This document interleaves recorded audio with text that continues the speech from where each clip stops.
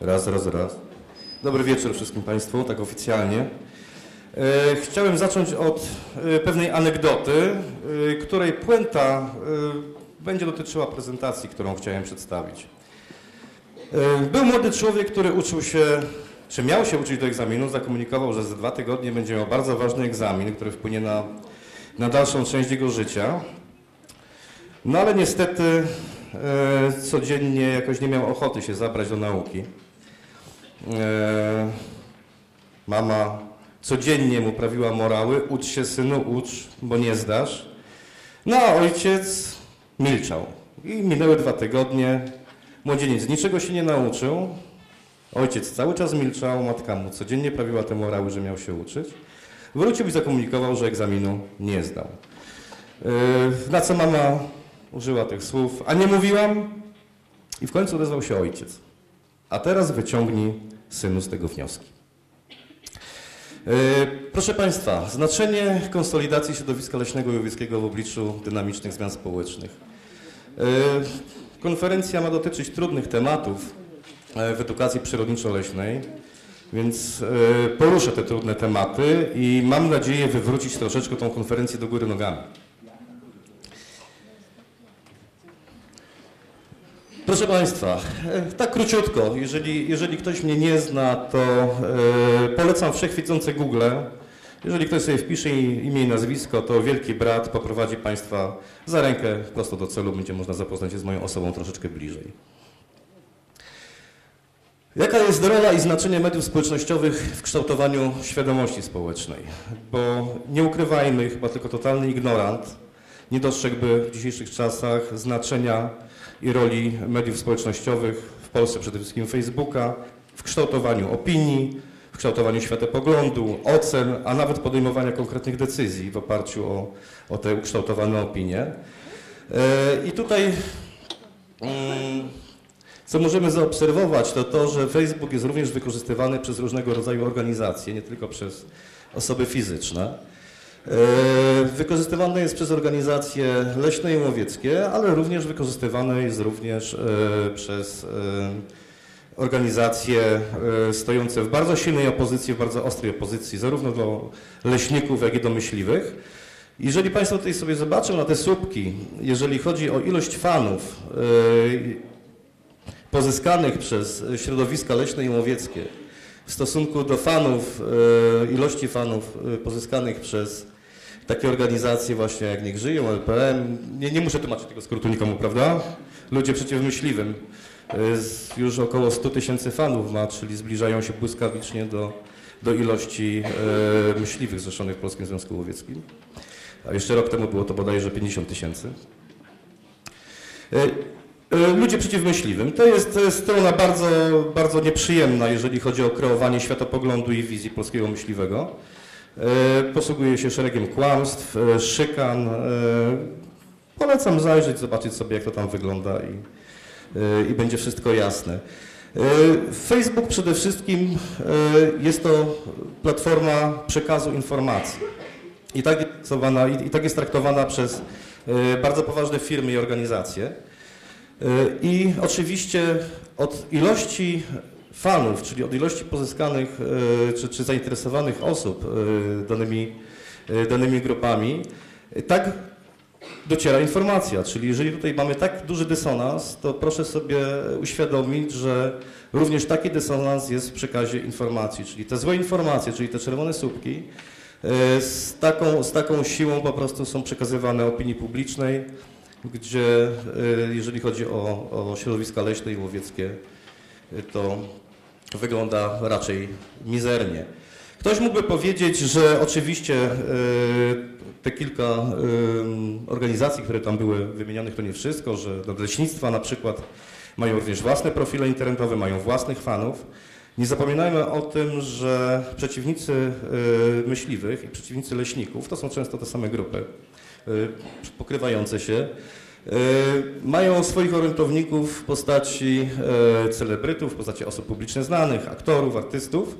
E, Tutaj wymieniłem takie trzy spektakularne nazwiska, które chyba wszyscy znają, czyli Adama Wajraka chyba nikt Nie, posądzam, żeby ktoś go nie znał. Pani Kinga Rusin, dziennikarka, pani Maja Ostaszewska, ostatnie odkrycie antyłowieckie, aktorka. Proszę zwrócić na liczbę fanów i na, w przypadku Nowa Wejraka na jego profilu publicznym, prywatnym, ile osób śledzi jego posty, tak? To 50 tysięcy ludzi to jest naprawdę bardzo dużo. Za tym idą oczywiście udostępniania różnych informacji, a tutaj chyba no, nie, nikt nie ma wątpliwości i, i, nie trzeba tutaj ukrywać, że dobrego słowa o myśliwych czy o leśnikach na profilu tej osoby nie znajdziemy. Wracając do poprzedniego wykresu słupkowego, pozwoliłem sobie tutaj taki sporządzić wykres kołowy, który dobitnie pokazuje, jaki jest udział czy, czy jaki jest przekaz informacji ze strony antyłowieckich i antyleśnych w stosunku do przekazu informacji do osób, do osób związanych, czy, czy sympatyków leśnictwa i łowiectwa. Natomiast jedna bardzo ważna rzecz. W tych 5% fanów to są przede wszystkim, czy w znaczącej większości, leśnicy i myśliwi. Czyli jeżeli byśmy leśników i myśliwych wykreślili z tego kawałka ciastka, to ten obraz będzie jeszcze bardziej dramatyczny. I takie informacje z, z, takim dysonansem właśnie są przekazywane opinii publicznej. Skąd to się bierze? No, to jest takie moje osobiste opracowanie na, na bazie subiektywnej oceny, ale myślę, że wielu z Państwa się z tą oceną zgodzi. Przede wszystkim yy, przeciwnicy łowiectwa i przeciwnicy myśliwych są doskonale zorganizowani, doskonale współpracują ze sobą yy, i doskonale się wspierają. Oni działają jak, jedna, jak jeden kombinat, jak jedna korporacja. I tak jadąc od góry, no, jeżeli chodzi o współpracę z osobami publicznymi, to co Państwo na pewno zauważyliście, to środowiska antyłowieckie, antyleśne, te antyleśne coraz intensywniej poczynają sobie na rynku medialnym. Wykorzystują osoby publiczne, a osoby publiczne oczywiście mają gigantyczne dotarcie do opinii publicznej. No i na tej bazie jest kształtowany i kreowany obraz zarówno polskiego leśnika, jak i polskiego myśliwego. Kolejna sprawa to jest dynamika udostępniania postów innych osób. Post na przykład, no jeżeli chodzi o posty dotyczące czy gospodarki łowieckiej, czy gospodarki leśnej, ważne z punktu widzenia dotarcia do opinii publicznej, to niestety nasze samo środowisko jakoś tak niechętnie te posty udostępnia, a każdy z Was przecież ma w swoim gronie znajomych nie tylko myśliwych, nie tylko leśników, ale też szereg ludzi niezwiązanych z tą branżą, którzy, którym taka informacja by się należała. No niestety tak to nie działa. Jeżeli chodzi o dynamikę udostępniania postów, e, na przykład na stronie WWF czy Greenpeace'u, polecam sobie zajrzeć. E, niektóre udostępnienia sięgają kilkuset udostępnień, co się przekłada na kilka, kilkanaście, czasami kilkadziesiąt tysięcy wyświetleń danej informacji, oczywiście w tym przypadku informacji niekorzystnych ani dla myśliwych, ani dla leśników. Kolejną sprawą to jest aktywność naukowców. W przestrzeni facebookowej taka aktywność naukowców po stronie aktywistów jak najbardziej istnieje. Biorę z takimi E, ludźmi udział w dyskusji, dyskutuję z nimi. E, jeżeli chodzi o stronę proleśną, prołowiecką, również są osoby z wykształceniem doktorskim na przykład. No, z profesorskim to już ciężko, ale, ale doktorów troszeczkę jest, którzy udzielają się w dyskusji. Natomiast jest to naprawdę bardzo mały e, odsetek w porównaniu do tego, jak się angażują naukowcy po stronie antyłowieckiej i antymyśliwskiej. E, wzajemne wsparcie i proszę tutaj nie, myśl, nie, nie, nie mylić czasami tego wsparcia e, ze wsparciem finansowym, bo to nie o takie wsparcie tutaj chodziło. E, wsparcie właśnie polega na między innymi to, co wspomniałem troszeczkę wcześniej, na udostępnianiu różnych informacji, w naszym przypadku proleśnych, prałowieckich, które mogłyby wnieść coś wartościowego, coś ważnego do świadomości społecznej. E, a czego się nie robi I, i to nawet tutaj są osoby zupełnie spoza e, e, środowiska leśnego czy łowieckiego. No ja reprezentuję na przykład taką osobą, osobę, ja nie jestem obecnie czynnym zawodowo leśnikiem, nie jestem też myśliwym, jak ja to mówię, nie dojrzałem jeszcze do łowiectwa. I takiego wsparcia po prostu nie ma. Publikacji różnych, czasami bardzo cennych, sami myśliwi czy sami leśnicy nie przekazują dalej swoim znajomym. Tutaj się oczywiście skupiam cały czas na Facebooku, bo o tej platformie mówimy. tak jeszcze tak powiedzieć dwa słowa na temat Facebooka, to bardzo ważna rzecz. Nie wiem, czy Państwo sobie zdają sprawę z tego, że Facebook zrzesza w Polsce, czy skupia w Polsce 14 milionów użytkowników. A to jest około 50% wszystkich użytkowników internetu w Polsce w ogóle. Czyli to jest bardzo dużo. Jest to jedno z najpoważniejszych, a moim zdaniem najpoważniejsze medium opiniotwórcze obecnie w Polsce. Ważniejsze niż radio i telewizja. E, Wspomniałem o dyskusjach. Te dyskusje na Facebooku są prowadzone. Jeżeli chodzi o kwestie myśliwskie i, i leśne, to te dyskusje najczęściej są sprowokowane właśnie przez środowiska antyłowieckie i, i, i środowiska niesprzyjające obecnemu modelowi polskiego leśnictwa. E, I oczywiście część, e, część z nas bierze udział w tych dyskusjach. Ym, I również tutaj czasami mamy do czynienia z dyskusjami, e, gdzie adwersarzem jest osoba z tytułem doktorskim, a nawet profesorskim. I ktoś by mógł sobie zadać pytanie, czy bać się takiej dyskusji. No absolutnie nie należy takiej dyskusji się bać. I to z bardzo prostego powodu. E, Jeżeli mówimy o naukowcach po stronie adwersarzy, to często są to osoby z wykształceniem biologicznym, wykształceniem kierunkowym, specja- e, e, z konkretną specjalizacją w danej dziedzinie, tak? Czy niech to będą grzyby, niech to będą nietoperze, czy jakieś tam, powiedzmy sobie, genetyka ssaków. Ewentualnie z, zdarzają się tam też w dyskusji, e, też miałem takie osoby, z którymi dyskutowałem, już nawet nie, nie z zakresu dziedzin biologicznych, ale gdzieś około przyrodniczych, tak? czyli jakaś tam geologia, takie, takie rzeczy. Natomiast dyskusję może już podjąć osoba, e, albo która e, praktycznie działa e, na przykład w łowiectwie i, i oprócz wiedzy, którą musiała pozyskać, to, to ma również taką wiedzę praktyczną, ale tutaj o wiele bardziej istotna jest wiedza, że tak powiem, leśna. W tym momencie na tym bym się chciał skupić i już absolwent technikum leśnego, nawet bez doświadczenia jakiegoś praktycznego, może z powodzeniem podjąć dyskusję merytoryczną, gdzie takiego profesora po prostu rozłoży na łopatki. Właśnie dlatego, że ma, będzie miał do czynienia z osobą e, co prawda naukowcem, ale o ko- konkretnej specjalizacji. Natomiast leśnictwo jest wiedzą interdyscyplinarną, tak? Czyli oprócz tego, że uczniowie e, czy słuchacze studiów e, leśnych e, uzyskują wiedzę stricte mm, dotyczącą gospodarki leśnej, to oprócz tego ta wiedza się przeplata i z klimatologią, i z fizyką, i z chemią, e, i z gleboznawstwem, e, i z ekologią lasu. Z- Także naprawdę ten, ta, ta wiedza leśna jest wiedzą interdyscyplinarną, ona nie ogranicza się tylko i wyłącznie do wiedzy leśnej. Natomiast dzięki temu, że ta wiedza leśna jest i to jest wiedza leśna bardzo szeroka, czyli można powiedzieć pełna wiedza leśna, to adwersarza tak naprawdę można bardzo łatwo pokonać pomimo tego, że ma tytuł profesorski i z powodzeniem można taką dyskusję prowadzić, do czego zresztą e, zachęcam. E, Dochodzimy w tym miejscu, jeżeli już dyskutujemy, e, trzy minuty, no mało, wiedziałem, że tak będzie. Jeżeli już dyskutujemy, mm, to dochodzimy do takich historii, że z czym się na pewno Państwo spotkaliście. Ktoś po prostu puszcza jakąś taką medialną, chwytliwą bombę, kaczkę, tak?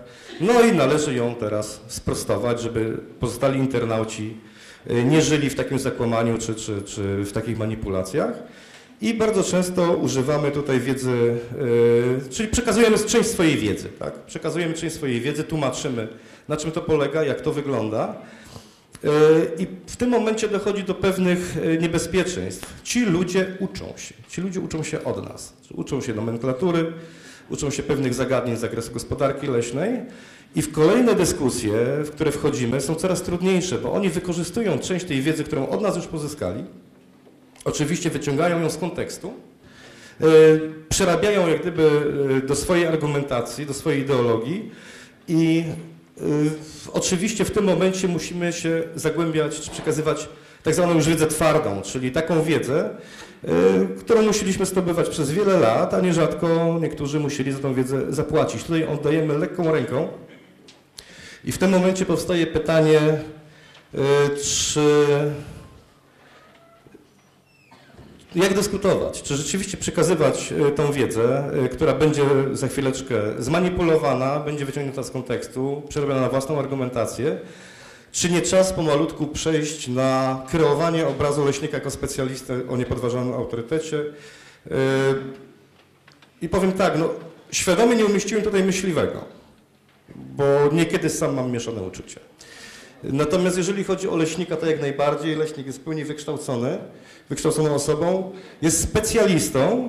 No i taki przykład, no czy widzieliście Państwo, żeby, nie wiem, są czasami ataki na lekarzy, tak? Czy, czy lekarz się tłumaczy gdzieś na, na forach i, i tłumaczy swój zawód, tłumaczy y, zasady przeprowadzania zabiegu i tak dalej? No nie, no, dlaczego leśnicy to robią? No, no przecież społeczeństwo wszyscy nie muszą być leśnikami, prawda? No, no nie ma takiego obowiązku.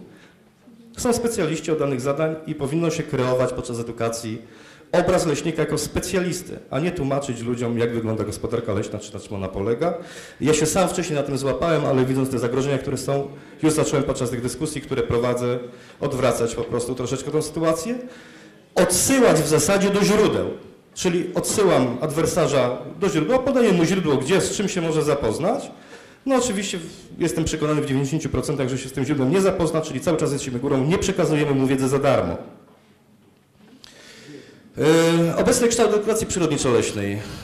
Yy, Jakie są zagrożenia i nadzieje? No to myślę, że wielu z Państwa wie. Yy, Natomiast co ja tutaj dostrzegam? Większość edukacji leśnej, przyrodniczo-leśnej skupionych jest na dzieciach w wieku przedszkolnym, wczesnoszkolnym. Czasami tam wchodzi to w wiek gimnazjalny i później Czyli tak, wzbudzamy zainteresowanie przyrodą, środowiskiem przyrodniczym u dzieci i za chwileczkę one wchodzą w wiek młodzieńczy, w wiek dorosły i oddajemy ich częściowo przygotowanych w szpony pseudoekologów. I jedno z największych zagrożeń to jest to, że przedstawiamy obraz cukierkowy i leśnika i myśliwego. Yy, I teraz jeżeli oni zderzają się z tym brutalnym światem, to za chwileczkę mówią, o zaraz, moment, leśnicy ani myśliwi o tym nie mówili, tak, że tu wyrębują las, że tu się zabija zwierzęta. I to jest właśnie wielki problem. To było wcześniej tutaj ruszone, moi przedmówcy wspomnieli o tym.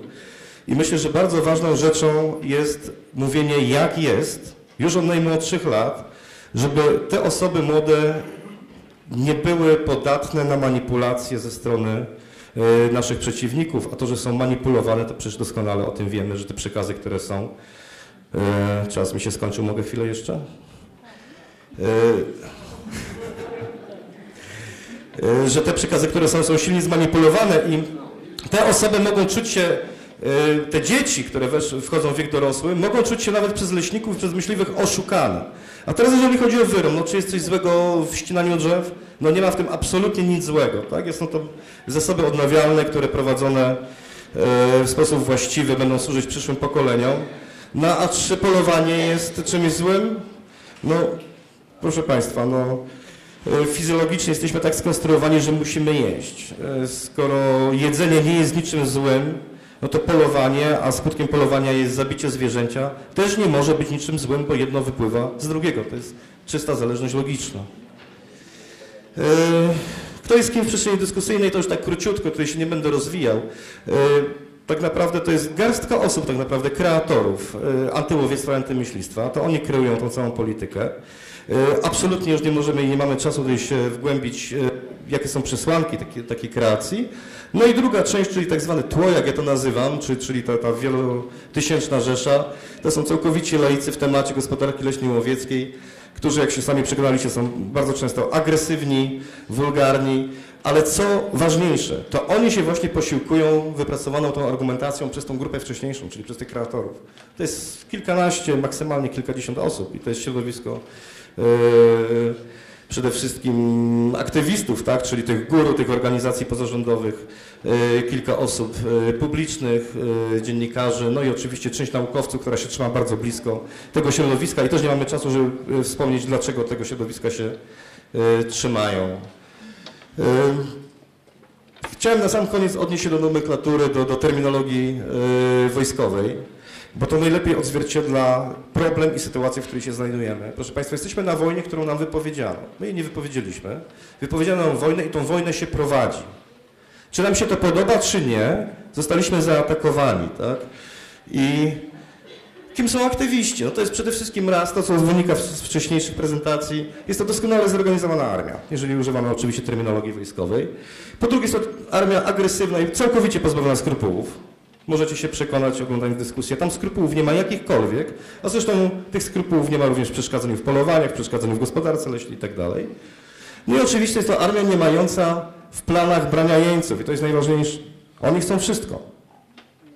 Oni się nie zatrzymają na niczym.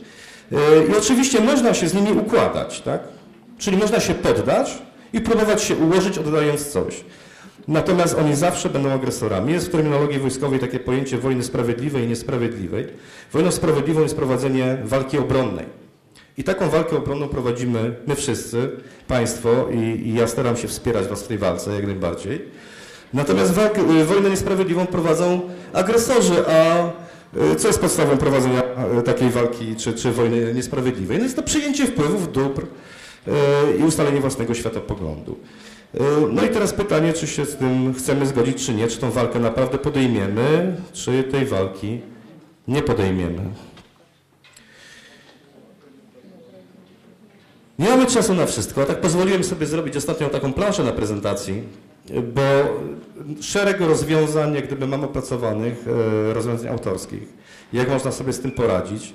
E, przede wszystkim taka dyskusja e, wymaga co najmniej kilku godzin prezentowania pewnych rzeczy, aby można było naświetlić, jak, o jak poważnych sprawach mówimy, o jak poważnych zagrożeniach mówimy i jak można wyjść z tej opresji, jeszcze mamy czas, tak? Mamy czas wyjść z tej opresji, natomiast tutaj chciałbym się skupić na lasach państwowych, lasów państwowych i wokół lasów polskich. Wytyptowane są ścieżki przez tak wiele nóżek i tak wiele osób, różnych dziwnych środowisk zainteresowanych polskimi lasami, że myślę, że, że warto te tematy podejmować. Dziękuję bardzo za uwagę. Przepraszam, że przedłużyłem. Mam nadzieję, że było ciekawe. Dziękuję bardzo. teraz dwa głosy w dyskusji. Pierwszy był Witek.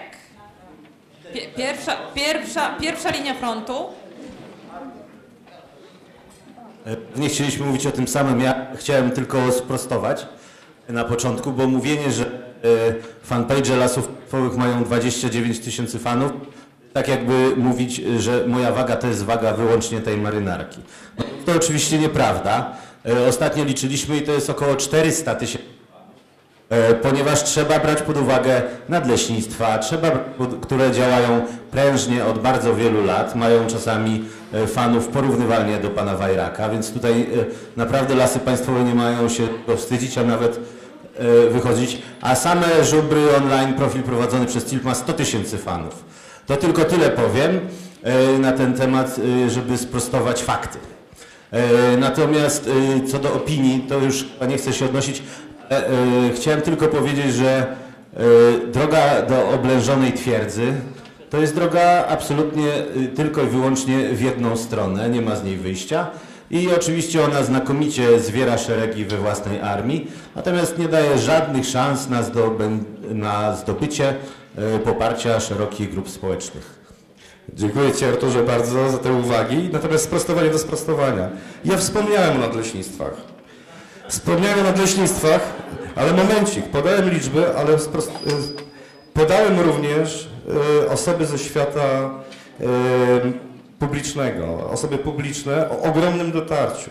Oczywiście to, co ja zrobiłem, można rozbudować o wiele bardziej szczegółowo. Można, a moim zdaniem nawet by trzeba było, żeby ktoś taki wysiłek podjął, żeby zobaczyć, jak to naprawdę się bilansuje.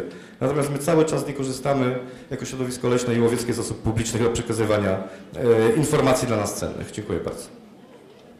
E, Witku? Tak?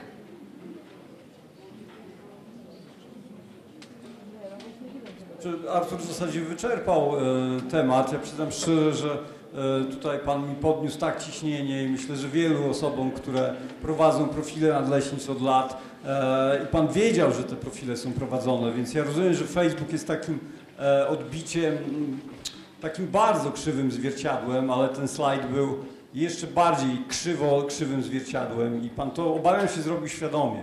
E, to, to, to, to jest nieciekawe, ale ja chciałem się odnieść jeszcze do poprzedniego referatu, bardzo ciekawego zresztą.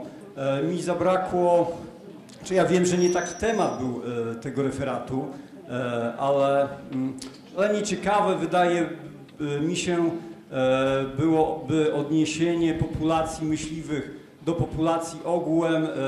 Poznaliśmy, jak to mniej więcej w Polsce wygląda. E, ale ja byłbym bardzo ciekaw danych, e, jak to wygląda mm, w Europie, bo wydaje mi się, że e, już moment, tu jeszcze jedna Okej. No i jeszcze jedna uwaga, bo Pani mówiła o tych nowomodnych nowinkach typu wegetarianizm czy weganizm. Te nowinki wydaje mi się, że są o tysiąc czy tysiące lat starsze od chrześcijaństwa. To tak mała szpileczka, przepraszam. No może jednak też powinniśmy mieć dawno kawę, tak? E, To jedno zdanie. Proszę, e, ja chciałam tylko powiedzieć, Boże, w tym temacie, który ja zrobiłam, e, ten 15-minutowe wystąpienie, można byłoby całą konferencję zrobić i czasu by nam zabrakło. Natomiast jeżeli chodzi o liczbę myśliwych w stosunku do liczby społecz społeczeństwa, to my jesteśmy na przedostatnim albo czwartym od końca miejscu w całej Europie, więc ten stosunek jest bardzo duży na naszą niekorzyść zdecydowanie.